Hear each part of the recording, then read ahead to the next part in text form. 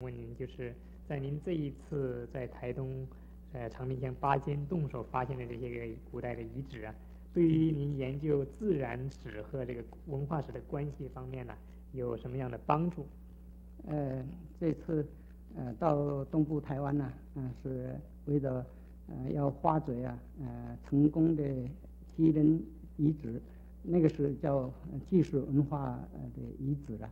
嗯，而是要配合呃考古方面的呃文化史专家呃来研究这个考古人类时代的呃住人的环环境，呃跟那个自然史跟文化史的关系，所以这趁这个机会啊，呃我到呃长滨乡的这个八仙洞啊，呃就发现了这个呃洞穴的遗址。嗯，这个遗址啊，呃，保存很好，因为是洞穴的里面呢，没有被这个呃水的侵蚀，也没有呃受呃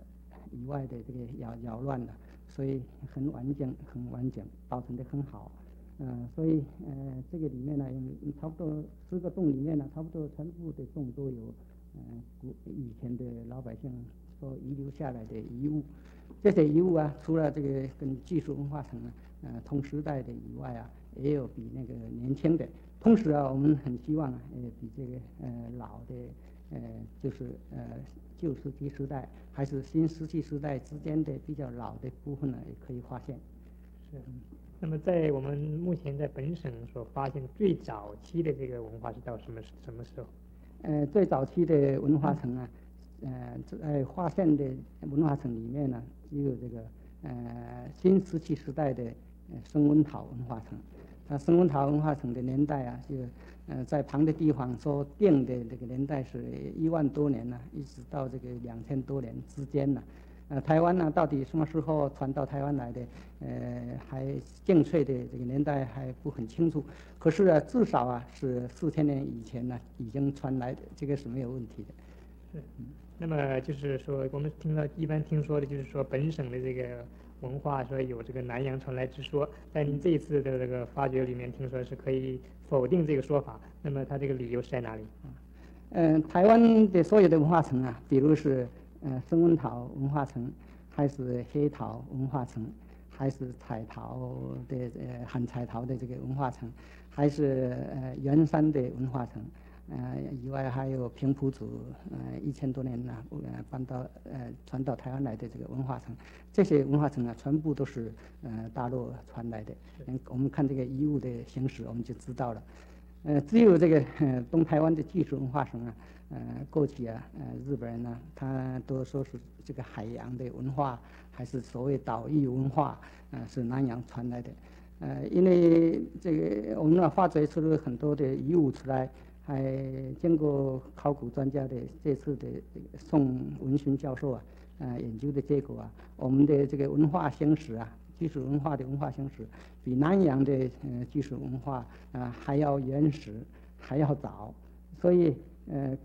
有可能啊，就是台湾传到南洋，还是呃传到台湾来的时呃时代啊比较早，南洋传到南洋的时代比较晚。有这样的可以解释，也不能呃解释啊，就是南洋传到台湾来的了。有没有可能说是我们这个本省的这个台湾的文化传到南洋的可能？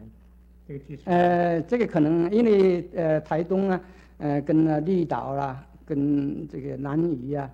跟那菲律宾的这个呃马布央呐、马太阳呐群岛啊，嗯，就是台湾到吕宋的这个一个呃呃跳板呐。呃，过去啊，常常有连的了，所以由台湾到呃菲律宾很很容易的。菲律宾也有很多岛屿啊，可以连到南方去，这可能性性呃不是没有的。好的，好的。那么您今后是不是有什么继续这个进一步的研究计划？因为这个八仙洞的遗址啊，这十个洞的堆积物啊，对将来我们这个呃中华民族古代文化的研究啊，很重要的。尤其发现这个旧石器，呃，文化的可能性很大，因为旧石器时代台湾根本跟大陆连的时候多了，啊，所以呃，大陆有了，台湾应应该是有的，就是还没有发现而已。嗯，这一点呢，嗯，八仙洞的文化是呃，很可能性很大的，这个呃，就是发现这个旧石石器时代的文化可能性最大的一个地方，所以我希望呃呃有有的经费的招录啊，比如这个史家赶快去建石开挖跟考古系呃大家一起在那做研究跟发掘的工作，同时啊，我希望现在呃在现地的老百姓还是。